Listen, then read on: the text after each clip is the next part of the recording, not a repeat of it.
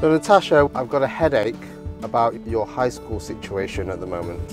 Why? I don't know what to do with your schools. I want you to get into a grammar school, but just on the off chance that you don't get into grammar school, there are certain schools I don't want you to go to. I mean, what, what do you think a good school should look like? You know, what's a good school, Natasha?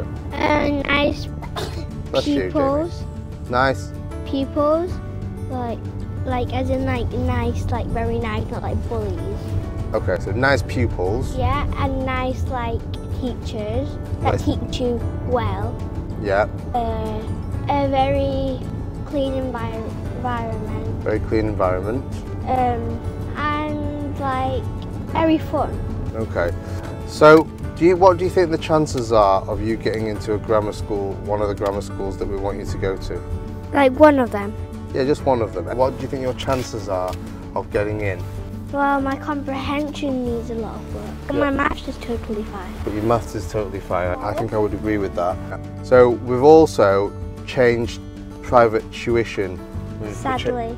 sadly, we're changing. Uh, well, we're changing Natasha's private tuition because the previous tu- tutor, I don't really feel was doing A great job.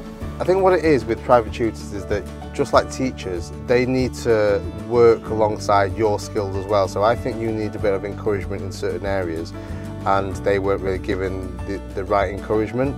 So I don't think they recognised what work you needed to do. Whereas this new private tutor that we're going to try, hopefully they're going to really help work on your comprehension and your verbal reasoning. Do you agree? Yeah, okay. Are you nervous about high school?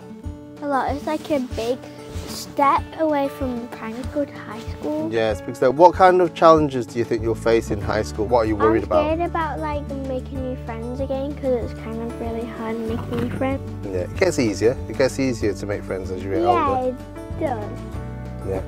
Like, I think when you first started primary school, I think you were shy and you was a bit scared to talk to people. But now you've come out of your shell and now you're, you know, a lot more confident. You get more confident as you get older. Do you know why you get more confident?